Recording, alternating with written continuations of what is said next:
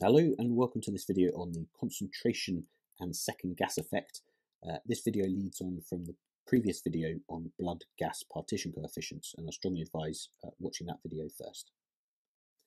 And the video will be in two parts, the first of which uh, looks at the concentration effect and then we go on to discuss the second gas effect. And I'm very deliberately talking about it in that order simply because the second gas effect is purely a consequence of the concentration effect. So in a viva setting, even if you're asked about the second gas effect, it's probably worth talking about the concentration effect first because this leads on to the second gas effect.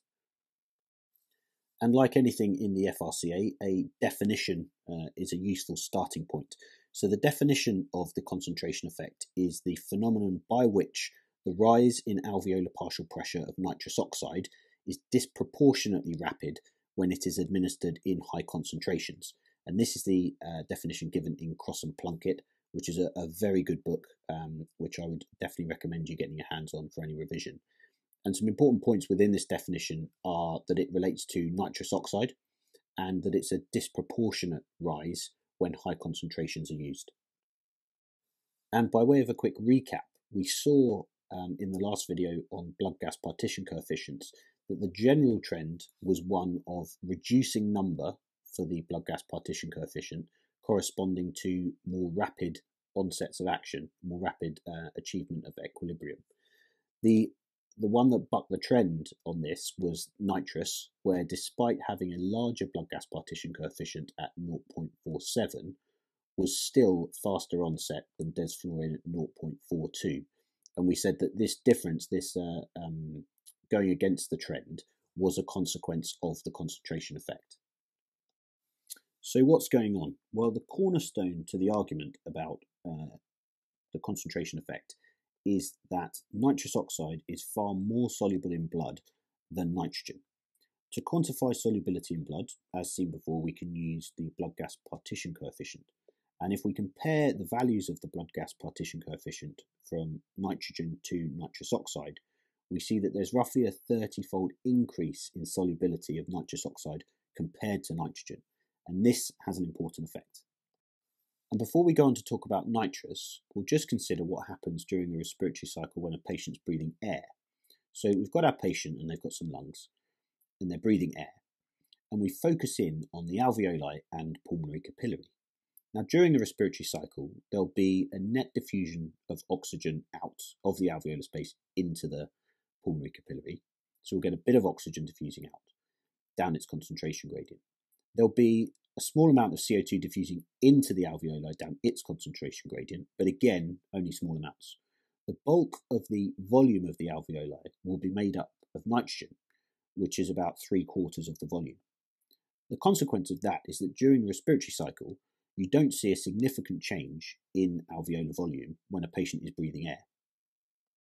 Now let's consider the same patient, and again, focusing in on the alveoli and pulmonary capillary, but this time our patient is breathing nitrous oxide at 60%. Now, because nitrous oxide is so soluble in blood, there will be rapid diffusion of nitrous oxide down its concentration gradient into the pulmonary capillary.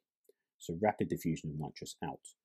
This will be partly balanced by inward diffusion of nitrogen N2, but the rate of these processes is vastly different because of the difference in solubility. So there's rapid diffusion of nitrous out with relatively slower diffusion of nitrogen in. So more gas is leaving the alveoli than is coming back in, and as a consequence of that, you get a reduction in alveolar volume. And as a consequence of the reduction in alveolar volume, you end up with a relative increase in the concentration of any gases remaining, and that's the concentration effect. And a natural question to ask at this point is to say, well, why don't we get this with the other volatile anaesthetic agents? And what it boils down to is the fact that we don't use enough of them.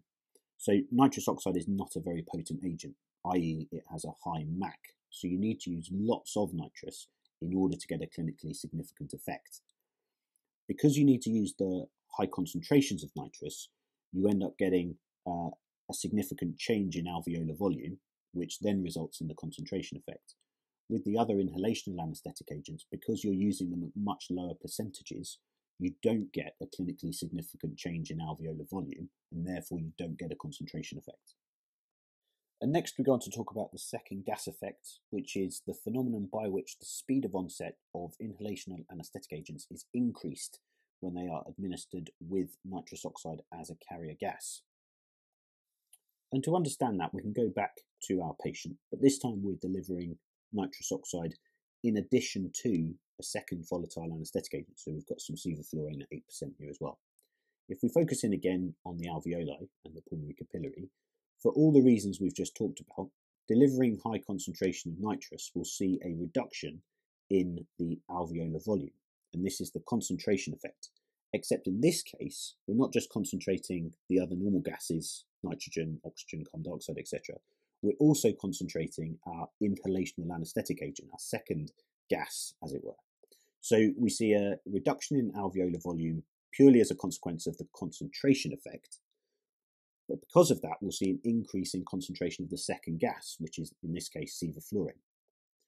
This will increase the rate of uptake because, according to Fick's law of diffusion, if you increase the concentration gradient, you'll increase the rate of diffusion. And the increased rate of uptake will result in faster onset of anesthesia. And indeed, for a gas induction, particularly for children, we'll use a nitrous oxygen mix with our sevoflurane if we want fast and rapid onset anesthesia versus an air oxygen mix because we can utilize the concentration effect to increase the delivery of our second gas and that is the second gas effect. Thanks for listening. I hope that was helpful.